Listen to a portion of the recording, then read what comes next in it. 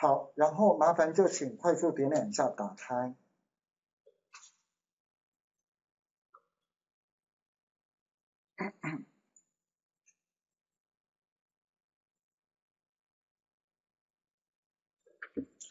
好，就请你们打开这个档，里面有三个资料。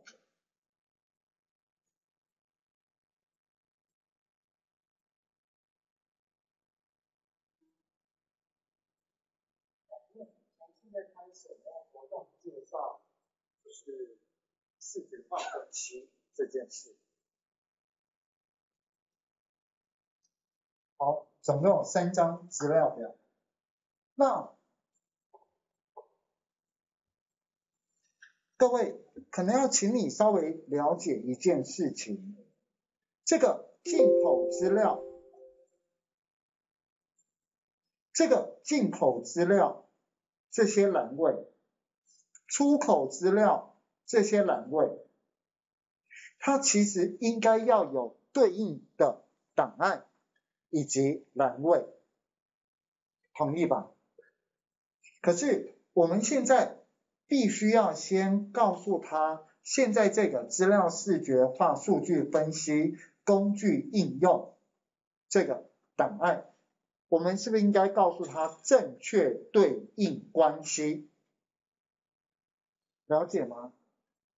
好，为什么需要知道它的对应关系？是因为我们可能还是需要去看一下这个数据清理。可是，如果你不用去看数据清理那个对应关系，你就不用再去设了。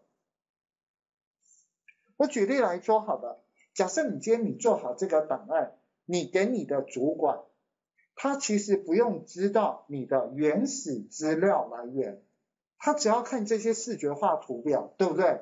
你觉得他会需要花时间去学资料清理吗？他不会。听得懂吗？他不需要，他只要看这些视觉化报表就可以了。好，但是你们需要，所以我们必须要先把我们的对应关系给设定清楚。请问我们是不是早上有出有下载出口资料，有下载进口资料，对不对？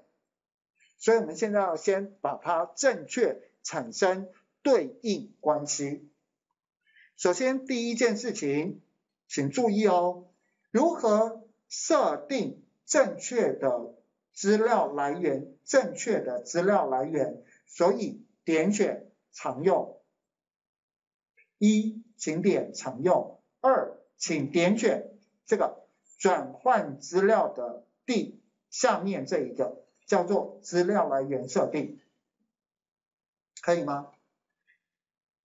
点选资料来源设定，这第二个动作。然后接下来请问一下啊，你们的电脑里面有没有这个路径？没有吧，对不对？这是我这台电脑的路径，可以吗？好，所以我们是不是要重新把它设定？好，也就是说，假如你今天你诶是。是，请我来去帮助你制作这个视觉化分析。那么你一定要要到什么？要到资料来源，可以吗？但是你应该知道说，通常这个原始资料是我我是做这个视觉化分析的人，对不对？那个资料来源在你的手上。甚至你的资料来源可能是一个网址，最好是一个网址，这样的话你根本就不用再重新设定这个指定的来源。好，因为你的网址就会变成什么 S 冒号斜线斜线什么什么，可以吗？所以这就是我们所讲的 API。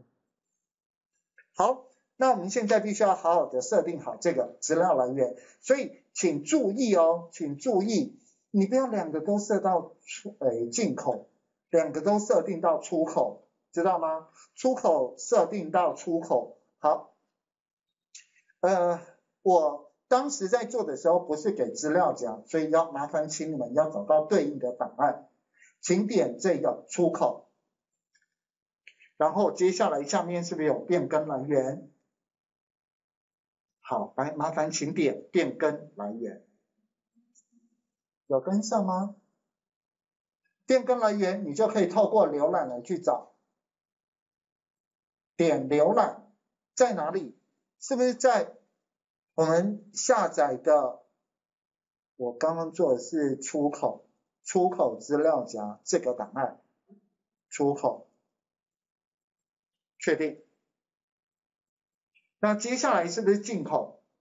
所以一样，重新点进口变更来源，然后透过这个浏览来去找，找到应该是进口，确定。然后关闭，这样你的资料来源就整个都对应好了。